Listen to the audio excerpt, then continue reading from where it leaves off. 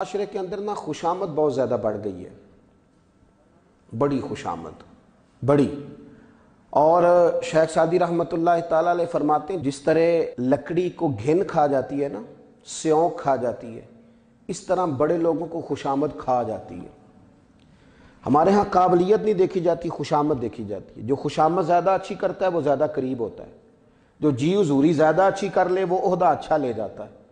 जिसको ज़्यादा अच्छे अंदाज में बादशाह को राज़ी करना आए वज़ी अजम को राज़ी करना आए, उसकी वजारत ज़्यादा अच्छी होती। खुशामद की तबीयत है। हमारे मजहबी स्टेजों पर बड़ी खुशामद होती है। पता है हमें कि हाजी साहब, जिनको हमने मेहमान खसूसी बुलाया, वो किस कैफियत के हैं? लेकिन चूँकि वो हमारी महफल में आ गए क्योंकि उन्होंने कुछ हमें चंदा दे दिया है, अब हमारी जेब के अंदर इश्क रसूल की डिग्री है जो निकाल के उन्हें थमा दिया हमने। क्योंकि वो हमारे सपोर्टर हैं लिहाजा हमने ये देखा ही नहीं। और बहुत सारी जगहों पे हम झूठी खुशामद करते हैं, झूठी। अल्लाह के फर्मा बरदार के आप करीब जाएँ तो बुरी बात नहीं। लेकिन वो शख्स जो अल्लाह का नाफरमान है, आपका ज़मीर कह रहा है कि ये दीन का, मिल्लत का, शरीयत का, इस्लाम का, ये नाफरमान है। ये जिस समत जा रहा है, वो समत दुरुस्त नहीं। जब आपका ज़मीर ही गवाही दे रहा है कि बंदा ठीक नहीं तो खुशामद किस बात की? रोजी बंदे देते हैं कि अल्लाह देता है। तो जब रोजी रब करीम देता है तो बंदों की झूठी खुशामद करने का क्या माना? रब के नाफरमानों के पीछे भागने का क्या माना? अगर रोजी अल्लाह देता है तो फिर हमें रब की इबादत करनी है।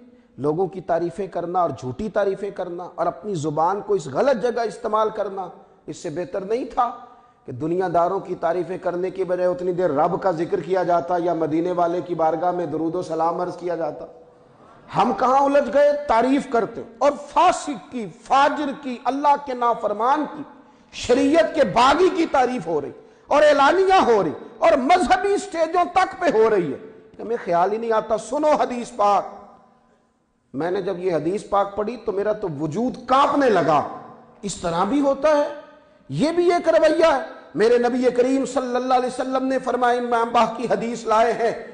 रसूल करीम वसल्लम फरमाते हज़रत बिन मालिक रावी हैं, हुजूर फरमाते हैं, याद रखो, जब फासिक की तारीफ़ की जाती है, जब अल्लाह के नाफरमान की तारीफ़ की जाती है तो फरमाया, अल्लाह ताला इतना नाराज़ होता है, अल्लाह नाराज़ होता है, और इतना नाराज़ होता है कि रब करीम का अर्श हिलने लग जाता है। उसके अर्श को हरकत होती है कि नाफरमानों की तारीफ़। है मेरे नाफरमान थे तो तेरे महबूब किस तरह हो गए? ये मेरे नबी पाक सलाम के दीन के बागी थे, तेरे दोस्त किस तरह हो गए? लेकिन कुछ लोग ऐसे हैं कि जिन्होंने कुर्ब शाही को ही सारा कुछ समझ लिया है, जिन्होंने बस हुकूमतों के करीब जाना ही अपनी कामयाबी समझ लिया। याद रखो, हुकूमतें आती जाती रहती हैं।